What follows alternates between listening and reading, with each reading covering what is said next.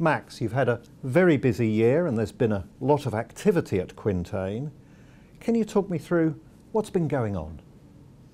Well, It's been a good year this year. Three years ago, I set out to really focus the business on London.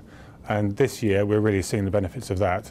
So not only have we really seen traction and the speed of development um, taking place at Wembley, we've also been building our London portfolio, which has now reached around about 100 million pounds. So I feel that we've got a real balance to the business um, and we're seeing real progress at Wembley.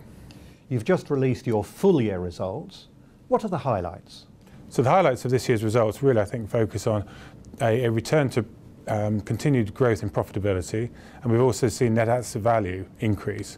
But below that, I think that the real takeaways are the uh, speed, the, the, pace of sales of the residential um, at Wembley, and really setting new price points. So we've moved those on from 575 pounds a square foot last year to um, 660 pounds a square foot. So you know, real real movement there. You've been particularly busy at Wembley Park. What's the progress there?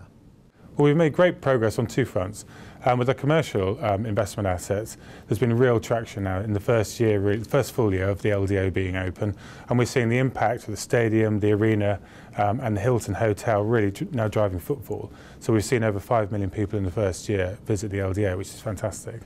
Um, but I think the other, the other real, really important news is the speed and really the pace of sales that we're now seeing on our residential.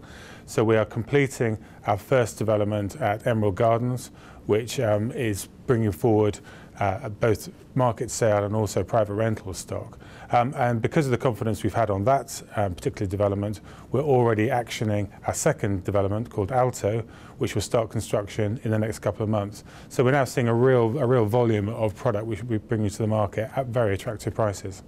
You've said you're undergoing public consultation about a new master plan for Wembley Park. Now that sounds very interesting. What more can you tell us? Well, on, on the back of the confidence that we've uh, we've we've created in our own minds uh, over the last year, year and a half, in terms of creating a sense of place at Wembley, but also now proving the residential proposition, uh, we've taken the decision to start work on the um, the eastern side predominantly of the site um, now that we have the whole of the West really in, in action. And so the, the, the master plan will begin to bring really forward, I think, an incredibly new and exciting district around a seven acre park involving on that part of the site alone uh, 24 acres. So we're in early stages, public consultation beginning in the next couple of weeks, but you know, with, a, with the promise of a really, really exciting new master plan. And you've mentioned a better balance between development and income. What are you trying to achieve there? Well, if you go, if you go back three or four years, I think Quintain was known as a developer, and we had significant land holdings both at Wembley and Greenwich, um, Greenwich Peninsula. I think the challenge there is, you know, is that is that the correct weighting for a public company? So over the last three years, we've really been shifting the um, the proportion buying and building investment assets. So now we're roughly half and half um, spread between our land holdings, which are either undeveloped or, or, or have the potential, and 50% in terms of our investment assets. And we can continue to see that, that balance um, really increasing in terms of the investment assets, so that I think we get a complementary balance between the two. You've announced you're opening your first PRS apartments next spring. Why are you doing that? We've um, got a, a, real demand, which we, we already know about at Wembley Park because we've got an existing business there.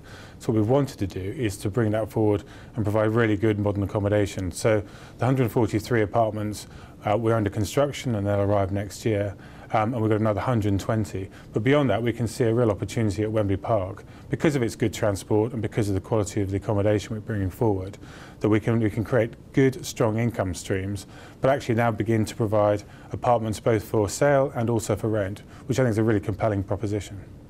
Max James, thank you very much. Thank you.